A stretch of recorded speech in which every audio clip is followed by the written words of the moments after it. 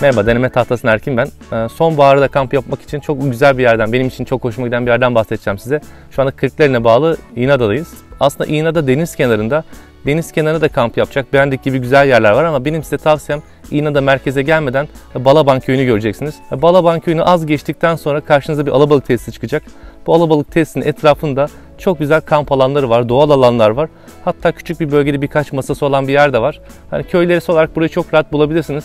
Ama benim size tavsiyem dere kenarında şu anda benim bulunduğum gibi çok güzel noktalar var. Hani biraz yürüyerek ya da araçla dolaşarak çok güzel yerler keşfedebilirsiniz. Yani e, kamp tüyolarına devam ediyoruz. E, kampta yastık işini nasıl hallediyoruz biraz bundan bahsedeceğim. Yani e, bazı arkadaşlarım kampta hiç yastık kullanmasına gerek olmuyor. Fakat ben özellikle yastıksız biraz zor uyuyorum. Bu yüzden motosiklette gittiğim zamanlarda örneğin depo üstü çantasına kendime yastık yapıyorum. Ya da bazen kıyafetlerimi kafamın altına koyuyorum. Ama bence en doğrusu olan şey şu anda yaptığım gibi bu çadırımın torbası. Zaten boş yanımda mecbur getirmek zorundayım. Bunun da içine Jack Wolfskin'in bir tane çok güzel kastüyü montu var. Bunu yatmadan önce zaten üzerime giriyorum, giyiyorum ve çadıra girdiğim anda da bu torbanın içine yani çadır çantasının içine bu kastüyü montu yumuşacık zaten içine yerleştiriyorum. Ve istediğim dolayısıyla istediğim yükseklikte ya da istediğim alçaklıkta, uzunlukta kendime çok güzel bir yastık yapıyorum. Klipsleri buradan kapatıyorsunuz. Daha da yüksek yastık isteyenler içine istediği kadar malzeme doldurabilir. Bu sayede kıyafetlerimiz de sıcak olacak. Çok güzel bir kamp ortamındayım şu anda. E, yeni kullandığım bir üründen bahsedeceğim size. Şimdiye kadar kamplarda genelde hep böyle çok yer kaplayan ve ağır olan bu sıradan kamp sandalyelerinden kullanıyordum. Hatta üşendiğim için çoğu kampa bunlardan götürmüyordum açıkçası. Fakat arkadaşlarımda görmeye başlamıştım bu salondaki kamp sandalyelerinden. E, bunlar çok daha az yer kaplıyor, çok daha hafif ve şaşırtıcı derecede daha dayanıklı. Aynı zamanda file gövdesi sayesinde terletmiyor da. Ama beni ilgilendiren nokta ben kampa giderken çok az malzeme yanımda taşıyorum. Ee, genelde çok hafif ve az yer kaplasın istiyorum. Ee, bu kamp sandalyeleri de yeni nesil sandalyeler gerçekten çok az yer kaplıyor. Buna rağmen çok dayanıklı ve çok pratik. Kullanması da çok kolay. 10 saniyede kullanabiliyorsunuz.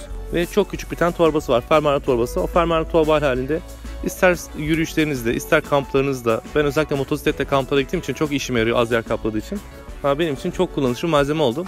Ben bu ürünü hangisiri.com'dan aldım. Herkese denemesini tavsiye ederim. İşte ne yapıyorsun? Çık çık çık. Çık oradan çık. Ne yapıyorsun orada?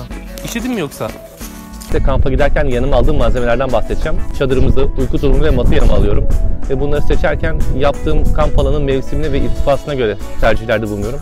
Özellikle uyku durumunu seçerken ekstrem limit comfort ve lower limit değerini göz önüne almanız lazım. E, mat olarak da genelde şişme mat kullanıyorum.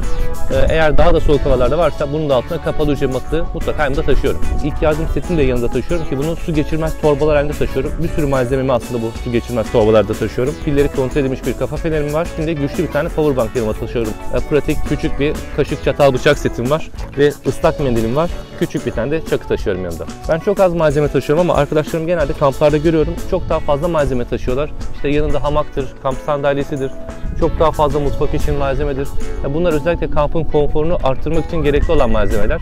Ben dediğim gibi minimumda tutmaya çalışıyorum. Hafif olmak, pratik olmak adına ben böyle az malzeme taşıyorum. Daha sizin de önereceğiniz malzemeler varsa onları da videonun altına yorum olarak yazarsanız sevinirim. Kampta çok üşüyenler için birkaç bilgi öneri vermek istedim. Uyku tulumunun ayak kısımlarını doldurun. Örneğin mesela polarlarla doldurun.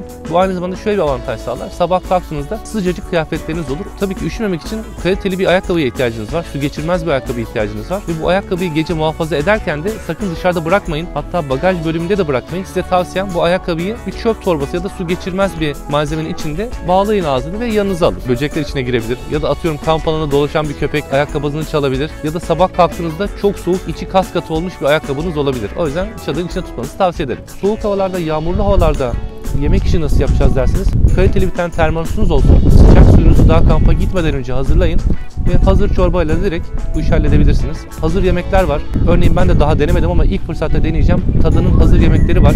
Hiç kamp ateşi yakmadan, ocak yakmadan kendi kendine içindeki hazır yemeği pişiren yemekler var, hazır yemekler var. Bunlardan da tavsiye ederim. Kullanan arkadaşlarım var çünkü.